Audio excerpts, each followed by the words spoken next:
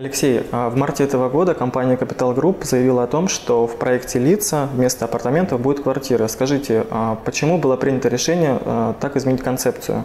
В первую очередь это связано с тем, что на сегодняшний день четкого, четкой формулировки, что такое апартамент, закон не предусматривает и не дает.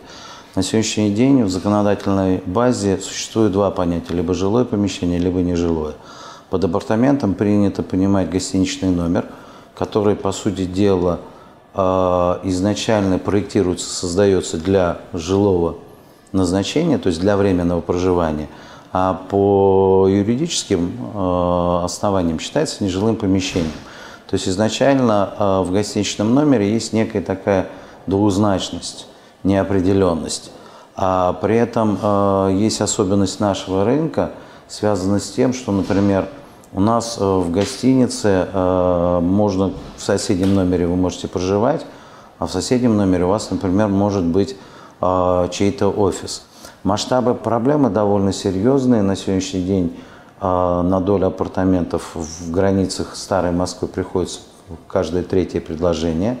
Вот. Уже есть сегмент собственников, для которых апартаменты являются единственной недвижимостью, которой они владеют. И, соответственно, это уже не, э, скажем так, не явление местного масштаба, то есть какого-то района, отдельного застройщика или там отдельного субъекта э, федерации. А я думаю, что это уже история, которая выросла, и которые требуют э, своего решения на федеральном уровне, где должно быть четко дано быть определение, поставлена точка, что же такое гостиничный номер.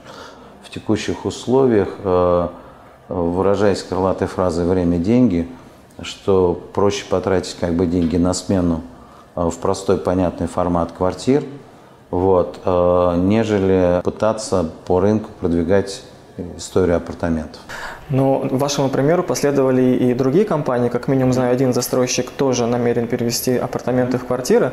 А как вы считаете, вот это единичный случай на рынке или все-таки уже наметилась некая тенденция? Не все это могут себе позволить, потому что э, те апартаментные комплексы, которые реализуются по принципу как бы там экономической, скажем так, безысходности, у них ну, зачастую нет какого-либо бюджета на то, чтобы перевести в квартиры. А, это первое. Второе, э, для того, чтобы сделать перевод апартаментов в квартиру, вы изначально должны были э, потратить время, потратить, э, соответственно, материальные ресурсы на то, что вы будете все-таки проектировать жилое здание. Вот. То есть это действительно на сегодняшний день ну, в чем-то напоминает некое искусство. Вот. И я знаю случаи, когда вот люди, которые планируют перевести, вот, они, по, по сути дела, переделывают проект. Вот пока а, не будут приняты какие-то поправки в законодательство, а, будут ли появляться апартаменты, на ваш взгляд, и если будут, то в каком формате? Ну, то, что они будут появляться, э, на этот вопрос уже как бы город дал категоричный ответ, потому что в том плане, что э, вы можете строить апартаменты, но э, в любом случае к ним будут предъявляться требования, которые предъявляется к строительству жилья. Вот.